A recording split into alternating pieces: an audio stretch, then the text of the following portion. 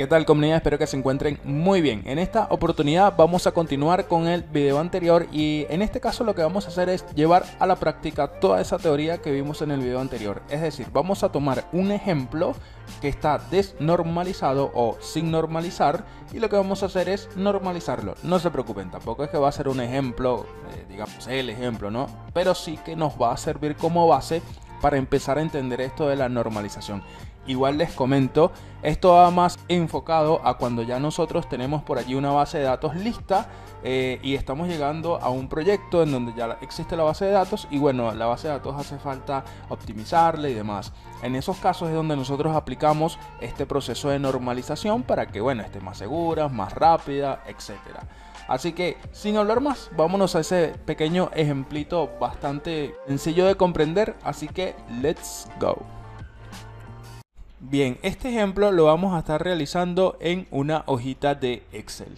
Bien, ya yo me adelanté y simplemente eh, agarré y armé esta tabla, que es una tabla de un estudiante o de unos estudiantes que están cursando ciertas materias. Como pueden ver, tenemos una columna del nombre del alumno, una columna del nivel del curso, una columna del nombre del curso, una columna para la materia 1, la materia 2, materia 3 si existiera, etc. Entonces aquí aparentemente y todo está bien porque fulano está en el curso en el nivel 6 del curso de Big Data en donde él está viendo MySQL y Python. Sutano está en el nivel 5 está viendo sistemas operativos, en este caso él está viendo dos materias, que es Linux y Windows, y Mengano está en el nivel del curso número 4 en donde está viendo programación y está viendo Rust y Python. Perfecto. Hasta ahora pareciera, si es nosotros, si nosotros estamos viendo por primera vez todo este tema de bases de datos, pareciera que esto está lindo, hermoso y sin ningún tipo de problema. Bueno, les comento que este ejemplo eh, no está ni lindo ni hermoso y sí que tiene problemas. Así que vamos a, vamos a utilizar la normalización. Y en este caso vamos a estar utilizando las primeras cuatro formas normales que les comenté en el video anterior. Recuerden que dependiendo del autor van a conseguir 3, van a conseguir 4 o hasta 5, que es raro ver una normalización con la quinta forma normal, pero se los comento porque es posible que por ahí lo encuentren. En esta tabla nosotros estamos viendo que se repite, por ejemplo, el campo de materia, porque tenemos materia 1 y tenemos materia 2. Entonces eso ya está haciendo que nosotros no cumplamos con la forma con la primera forma normal. Así que lo primero que vamos a hacer es justamente trabajar esos campos que se están repitiendo, que en este caso es materia 1 y materia 2. Así que vamos a hacer esto. Yo me creé acá estas pestañitas para cada una de las formas. Así que vamos a trabajar en este que es la primera forma normal y vean que aquí yo les voy a dejar este y se los voy a adjuntar. Todavía no sé si se los voy a subir a GitHub o todavía no sé. Aquí tendríamos sin normalizar y aquí tendríamos la primera forma normal. Entonces aquí vamos a crearnos nuestra entidad. En este caso la voy a llamar alumnos y esta entidad va a tener un ID del alumno, va a tener un nombre del alumno, va a tener un nivel de curso, va a tener un nombre del curso y va a tener el nombre o la columna materia en este caso es justamente lo que estamos modificando en esta primera forma normal. Bueno, vamos a hacer esto, vamos a meterle aquí un espacio, así que vamos a insertar otra, perdón, ahí no, acá, otra columnita, otra fila, perdón, y vamos a eliminar esta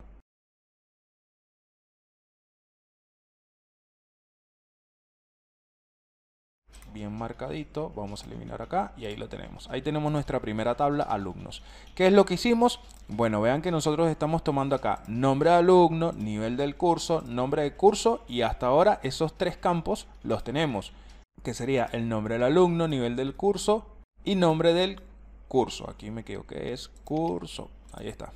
Lo que estamos haciendo ahora en esta primera forma normal es apartando la columna materia, porque vean que acá se está repitiendo, y lo que estamos haciendo es separándola. Pero adicionalmente nosotros estamos agregando una primary key, que en este caso va a ser la columna ID alumno, porque vean que acá nosotros no tenemos ese ID de alumno. Entonces, ahora yo me voy a copiar estos nombres con el nivel y con el nombre del curso, me los voy a copiar porque básicamente es el mismo, nombre, nivel y nombre del curso, y los vamos a pegar acá. Listo, ahí lo tenemos. Ahora vamos a asignarle nuestro ID a cada uno de estos alumnos, que sería en este caso el ID número 1, el ID número 2 y el ID número 3. Y en materia vamos a estar colocando justamente cada una de las materias que estos alumnos están cursando. En este caso, si nos vamos al modelo sin normalizar, vemos que, por ejemplo, fulano está cursando MySQL y está cursando Python. ¿Qué es lo que tenemos que hacer? Bueno, vamos a copiarnos estas dos filas y nos vamos a ir a la primera forma normal. La vamos a pegar acá y le vamos a decir, fulano está cursando MySQL, pero no podemos dejar Python acá botado. Entonces, lo que yo voy a hacer aquí es insertar una nueva fila. Eh, acá, vamos a insertársela acá. Y Python, ahora lo que voy a hacer es traérmelo hacia acá. Listo. Ahora va a seguir siendo el ID número 1, va a seguir siendo fulano, va a seguir estando en el curso número 6 y va a seguir siendo el curso de Big Data. Si nosotros nos venimos al modelo sin normalizar, vemos que es exactamente lo mismo porque sigue siendo fulano, sigue estando en el curso en el nivel, nivel número 6, sigue estando en el curso Big Data y sigue viendo la materia 1, que en este caso es MySQL, y la materia 2, que en este caso es Python. Sigue haciendo exactamente lo mismo, acá lo ven. Ya acabamos de normalizar a nuestro amigo fulano. Ahora, lo que resta hacer es exactamente lo mismo con sutano y mengano. Así que Vamos a agarrar ahora a Sutano. Aquí yo voy a insertar. Bueno, en realidad yo voy a cortar esto y me lo voy a traer hasta acá abajo.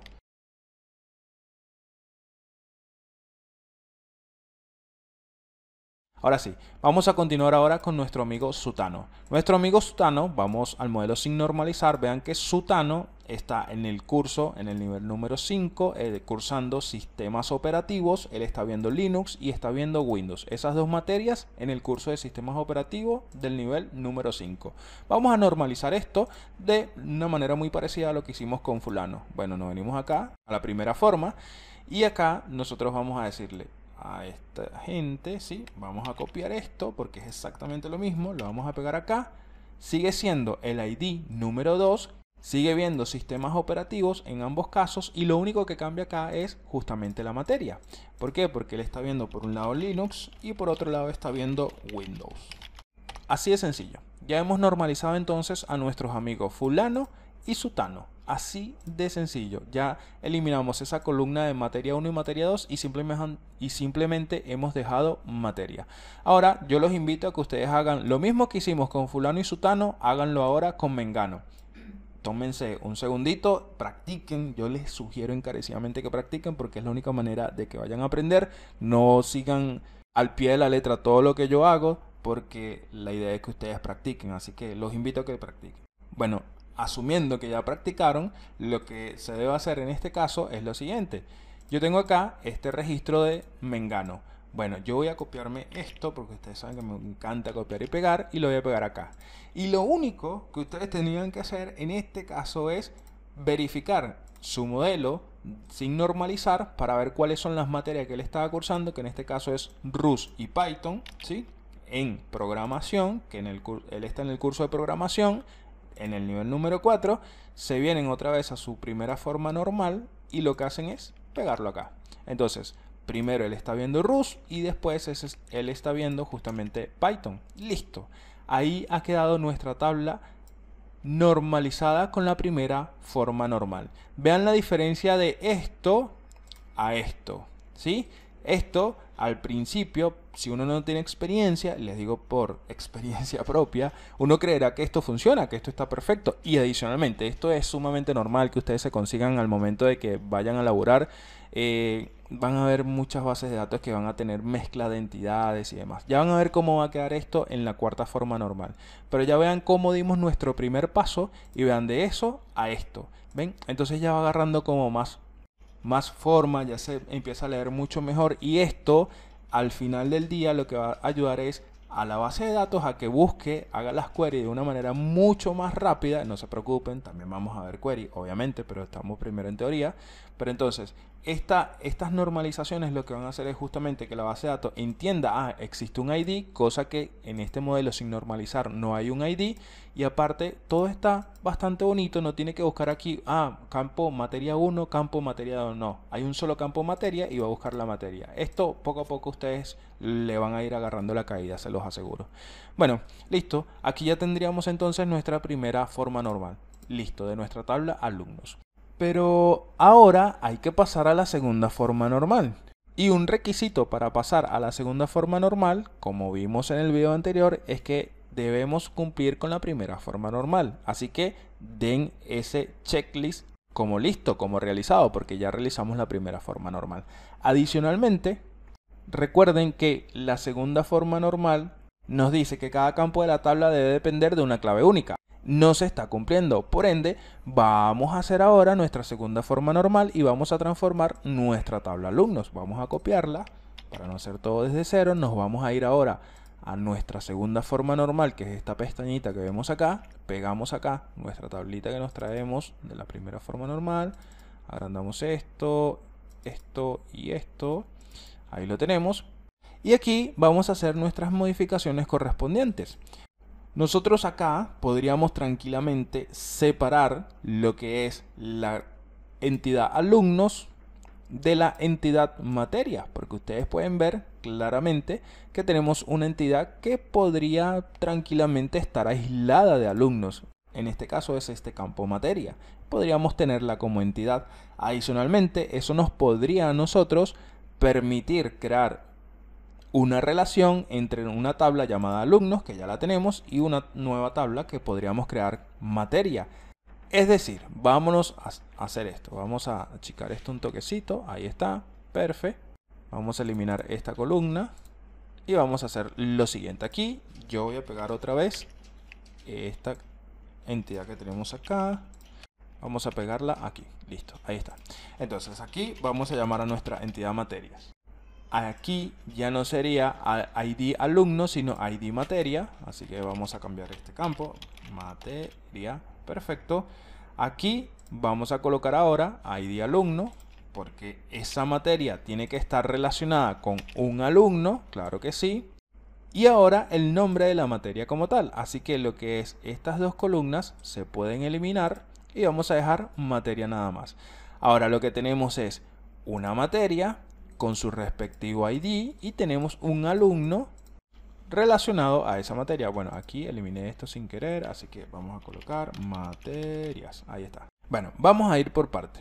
¿Sí? Entonces, esto está mal. Debería ser ID 1, ID 2, 3, 4, 5 y 6. Que serían los ID de nuestras materias. Perfecto. Aquí estarían nuestras materias, genial, y acá estaría el ID de nuestros alumnos, de los alumnos que las están cursando.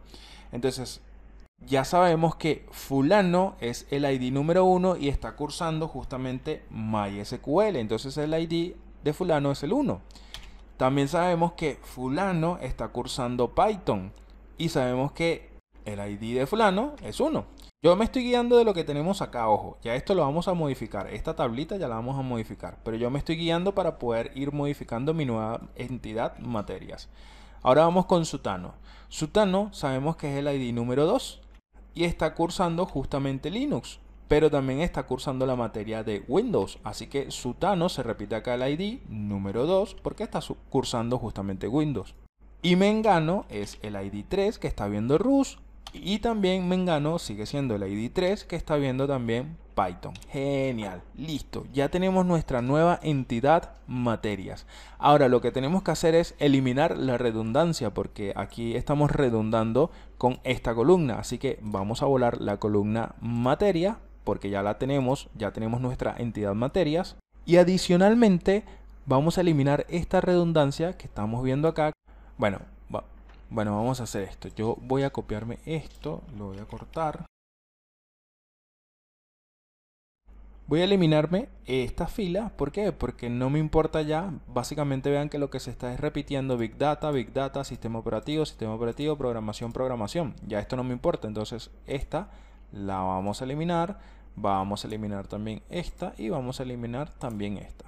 Listo. Ahí quedó eliminada. Ahora, nosotros aquí ya tenemos la segunda forma normal. Si quieren, vamos a darle un colorcito diferente a esto.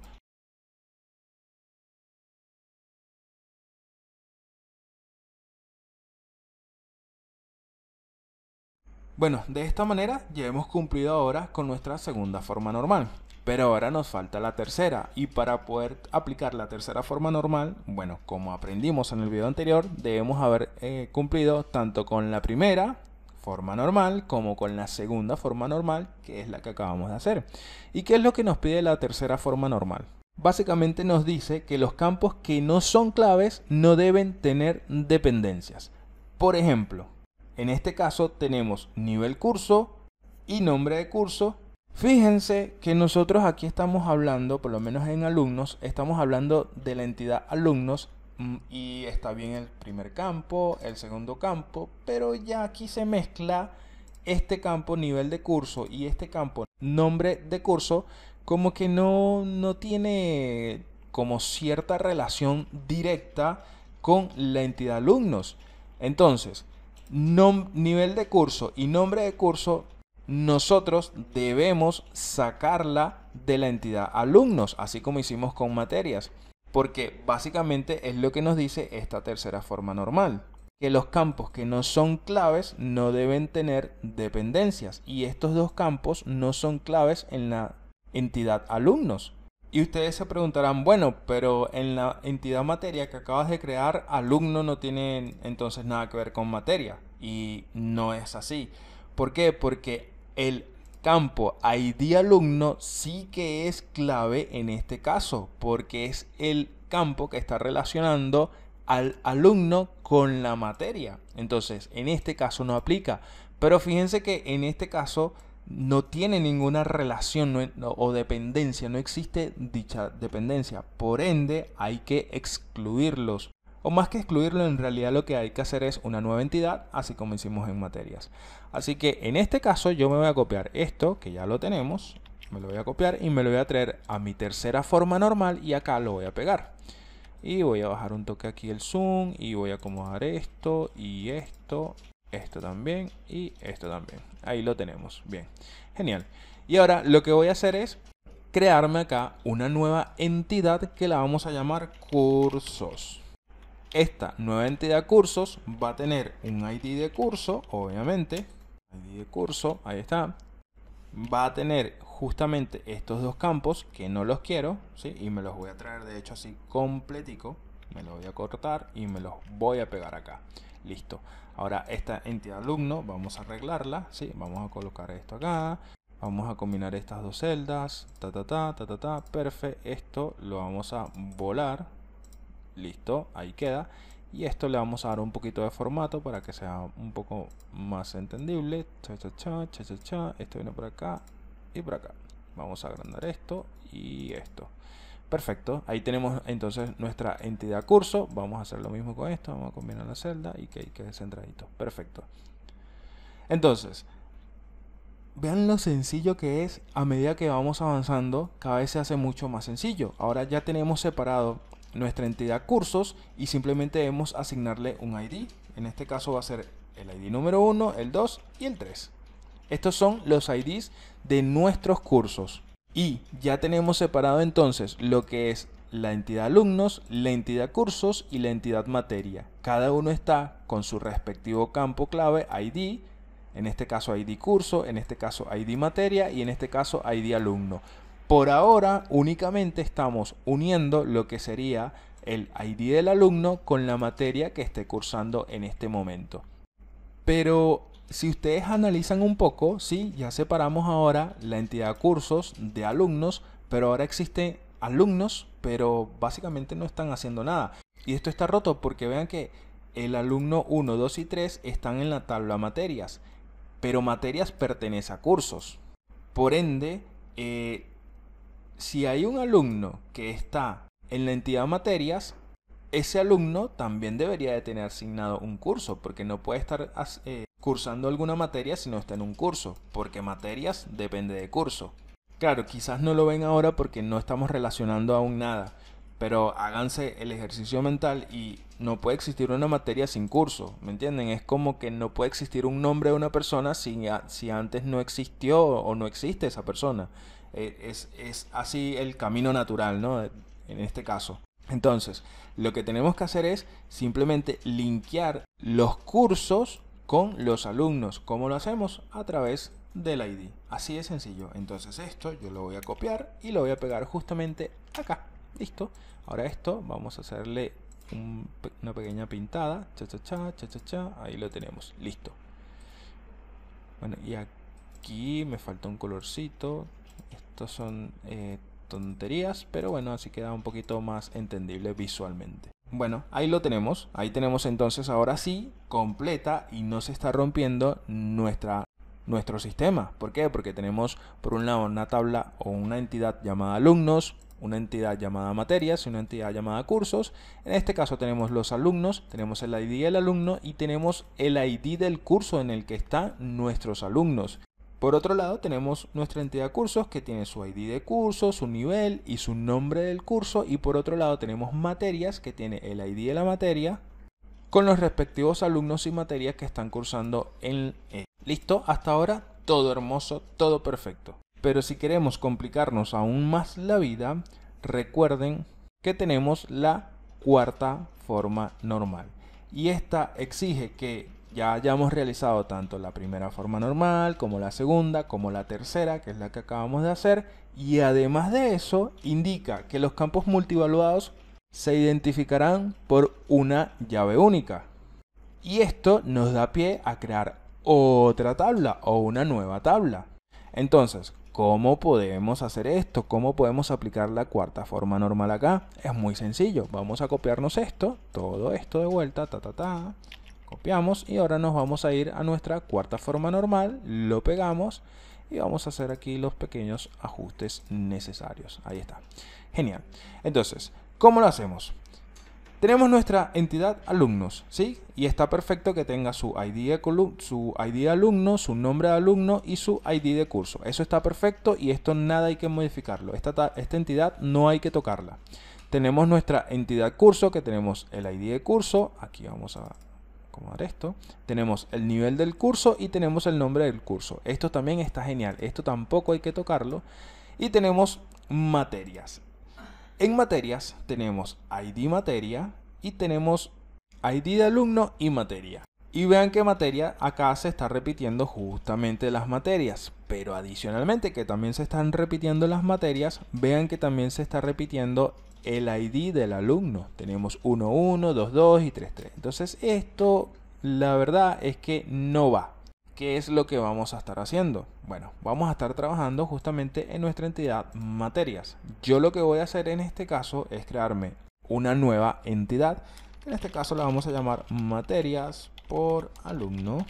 Así, tranquilamente. Y si hasta ahora nosotros veníamos manejando entidades que ya existían en, nuestra, en nuestro ejemplo sin normalizar. Veníamos trabajando con materia, ¿sí? la entidad materia, con la entidad curso y con la entidad alumno hasta la tercera forma normal.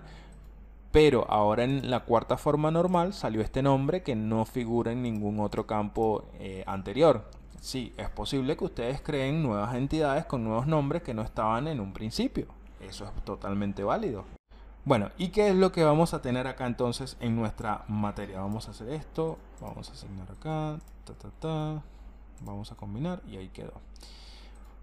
Bien, genial. Ahora, ¿qué es lo que vamos a tener en, en nuestra nueva entidad materias por alumnos? Nosotros aquí lo que vamos a hacer es crear una relación entre las materias y los alumnos que la estén cursando. Es decir, si no existe una cursada entre un alumno y una materia, esta tabla simplemente no, no, va a tener importancia o relevancia, porque únicamente va a tener importancia y relevancia y va a tener registros cuando un alumno está asignado a una materia. Por ende, si ustedes ven la tabla materias, aquí es donde nosotros tenemos la materia prima, porque nos está diciendo el ID del alumno y la materia que está cursando. Y justamente aquí es donde tenemos este problema y por eso debemos aplicar la cuarta forma normal.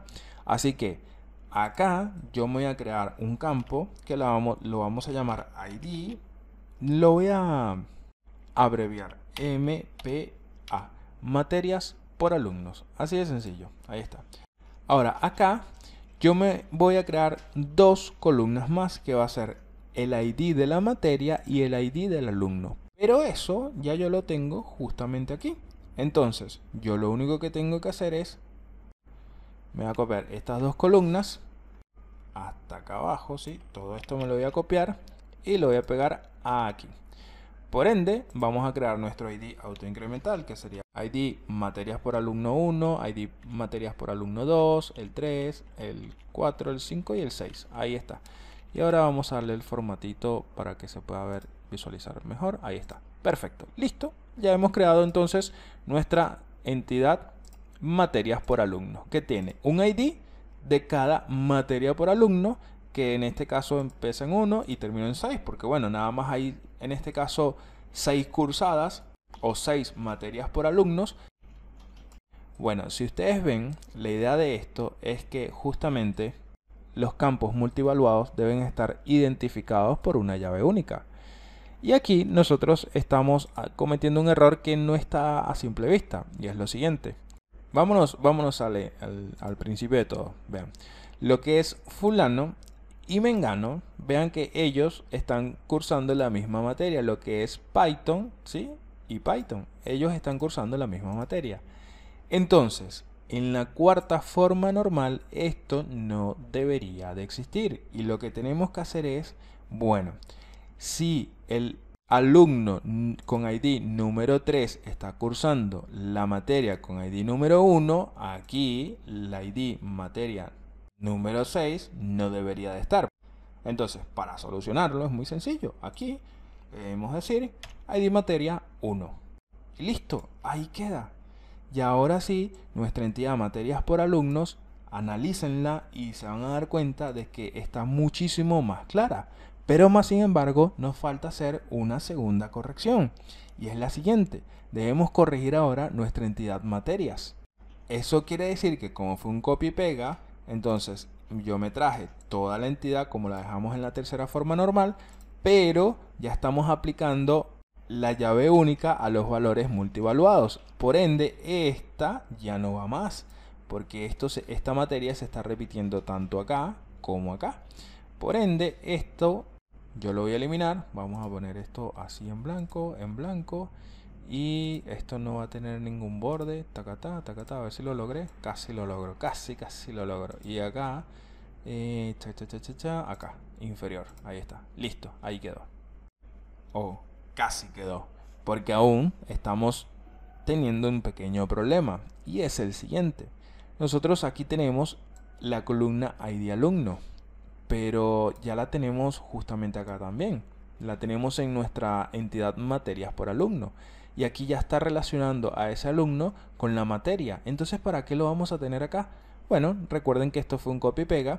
Por ende, esta columna ya no la necesitamos. La de ID alumnos.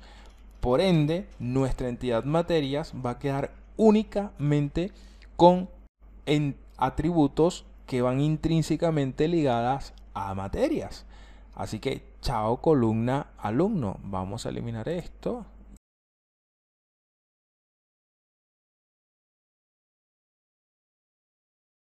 Bien, ahí quedó. Ahora, separamos materias, que va directamente o netamente con materias, tiene ID materia y tiene las materias como tal. Y por otro lado nos soluciona la vida, en este caso nuestra nueva entidad llamada materias por alumnos, que es la que en realidad va a estar encargada de linkear nuestros alumnos con la materia que están cursando. Y listo, de esta manera tan sencilla ya nosotros hemos llegado a la normalización de nuestra tabla. Ustedes pueden pensar que, bueno, teníamos en un principio una sola tabla y ahora tenemos cuatro, o entidades, perdón, yo les digo tabla porque, bueno, estoy acostumbrado ya a trabajar con SQL, pero en realidad en este momento estamos hablando de entidades. Entonces, ustedes dirán, bueno, pero en un principio tenía una sola entidad y ahora tengo cuatro. Sí, es verdad, pero es que esto, a medida que ustedes vayan escalando su sistema, se van a dar cuenta de lo valioso que es. Y en realidad cuesta en un principio, ya después cuando su sistema esté escalando, simplemente analizan en qué entidad deben agregar o modificar ciertos atributos para que su sistema siga escalando y se siga ajustando a las necesidades y esto lo va a hacer mucho más fácil, mantenible y escalable. Adicionalmente le va a dar una velocidad mucho mejor a nuestra base de datos. Entonces, vamos a resumir. Nos venimos acá y teníamos este era el ejemplo, ¿sí? Teníamos todo este choclo en donde estábamos mezclando el alumno con el curso y con la materia y empezamos con nuestra primera forma normal. ¿Qué fue lo que hicimos? Bueno, redujimos justamente la columna de materia. En lugar de tener materia 1 y materia 2, simplemente creamos una columna llamada materia y allí teníamos todas las materias. Eso es lo que nos, en este caso, nos sugiere la primera forma normal que es tener atributos atómicos, es decir, que no haya ningún campo repetido. Luego nos fuimos a la segunda forma normal y acá en la segunda forma normal nos pide que cada campo de la tabla debe depender de una clave única. Bueno, entonces cada campo, ¿sí? por, por ejemplo, este campo, materia, está dependiendo de su respectivo campo ID materia. Y este ID alumno viene justamente de su campo o de su entidad alumnos, como corresponde. Luego, en la tercera forma normal, lo que hicimos fue que los campos que no eran claves no tuvieran ninguna dependencia. Entonces, lo que hicimos fue crearnos en nuestra forma normal una nueva entidad para cumplir con esta tercera forma normal, ya que lo que es nivel de curso y nombre de curso no tenían dependencia de la entidad alumnos. Entonces acá lo que hicimos fue básicamente crear esa nueva entidad cursos. Luego nos fuimos a la cuarta y última forma normal, en este caso, que básicamente nos dice que los campos multivaluados se deben identificar por una clave única. En este caso estábamos trabajando, vamos a la tercera forma normal, vean que los campos multivaluados, que en este caso el ID de alumno y materia, se estaban repitiendo. ¿sí? Son campos multivaluados porque como vimos en el video anterior, los campos multivaluados pueden tener muchos valores. Por ejemplo, el campo ID alumno puede tener todo este choclo de, eh, de valores y el campo materia todo este otro choclo de valores. Por ende, la cuarta forma normal nos dice que trabajemos justamente en eso y que esos campos multivaluados deben ser identificados por una llave única. Entonces, nos creamos la entidad materias por alumnos con su respectiva llave única, en este caso ID materias por alumnos y simplemente asignamos el campo multivaluado ID materia y ID alumno. Así de sencillo. Bueno, eso ha sido todo el video del día de hoy. Eh, medio raro, es primera vez que hago un video como este. Espero que me haya sabido explicar. Si me quieren apoyar, por favor suscríbanse al canal, denle like, comenten y compartan. Pórtense bien, que anden bien, sigamos aprendiendo entre todas y todos. Nos vemos en un próximo video. Shaolin.